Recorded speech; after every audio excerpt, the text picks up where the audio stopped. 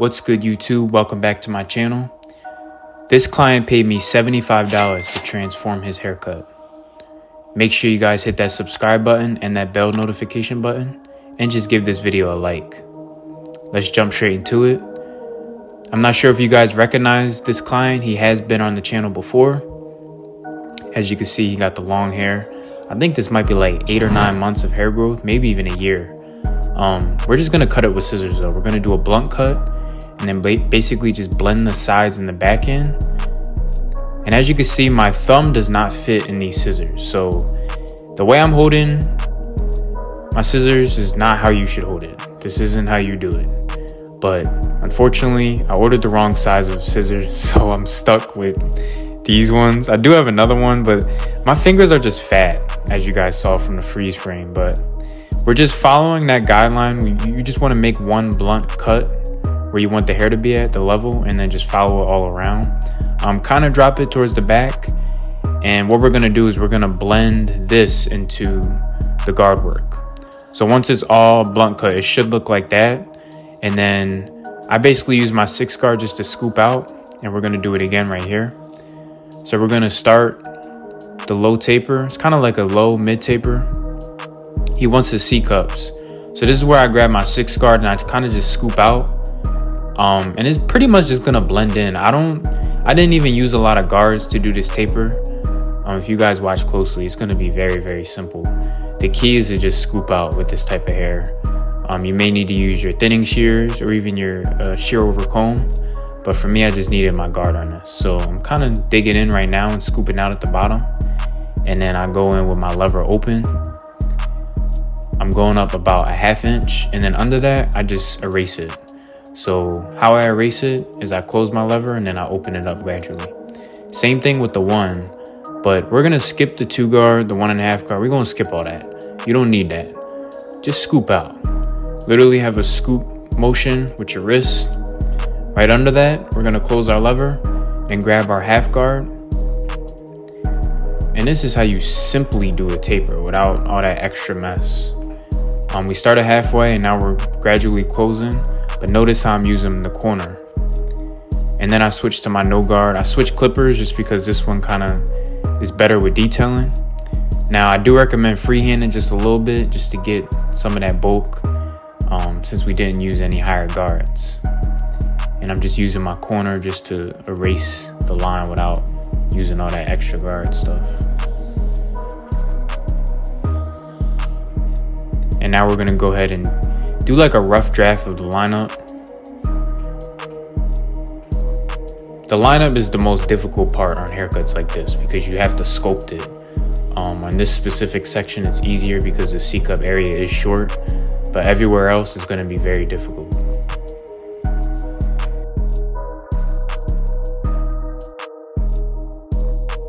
Same thing with the lineup around the ear. Um, I'm curving it, but I'm not trying to take it in too much. Now, it's easier on this specific section because the hair is shorter, because remember we scooped it out with the six guard, but when we go around his ear, it's gonna be a little more difficult because you're dealing with long hair, basically, just long, straight, stubborn hair. Right now, I'm just detailing the taper a little bit before we move on to our next step. I'm not gonna show the back taper and side taper. I did the same steps for this. So I switched to my Stylecraft trimmers. If you guys want to buy these trimmers or any other Stylecraft products, just use my code, the fourth Ken, and you can get, I think it's like 10% off. So take advantage of the discount. Yes, sir. Now, as you can see, I'm using the side of my blade, the corner, and I'm like dragging it. I have these set kind of dull so I can press hard and drag. And with hair like this, the key isn't to tap tap. You kind of have to like sculpt. You got to draw with the with the trimmer blade. You have to curve and carve out your lining. You know, with short hair, you you tap tap. But with long hair like this, you got to carve and sculpt. So as you can see, I'm in my zone. I'm in my bag. Trying to get it right. Same thing with this side He has cowlicks in the back of his neck, which makes the neckline a little difficult, but right here, still managed to get it nice and smooth.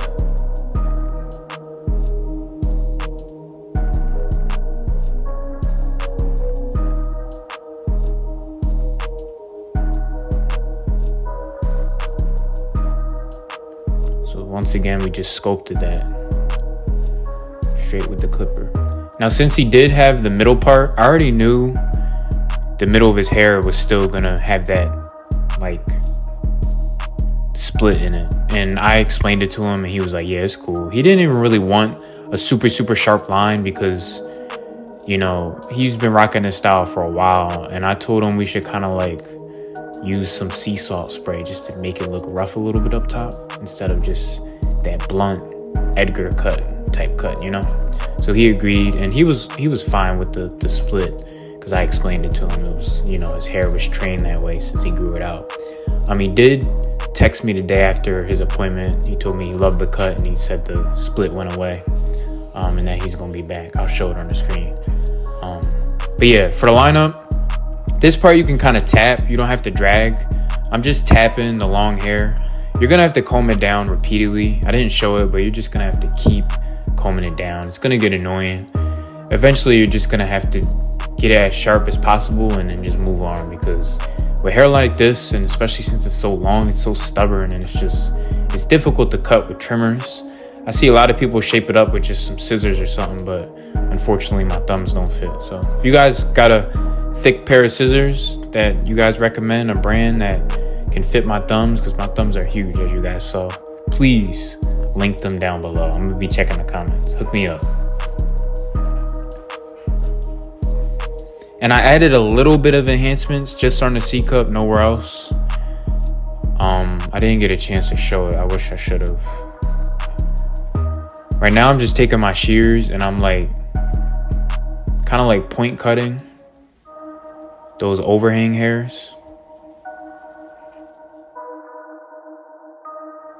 This is how my client came in. And this is how he's leaving. We're gonna spray some uh, sea salt spray just to add a little bit of texture in it. Let's check it out from another angle. This the other side. Yeah, he's in there. Nice little texture on top. If you like the vid, leave a like. I'm out. Peace.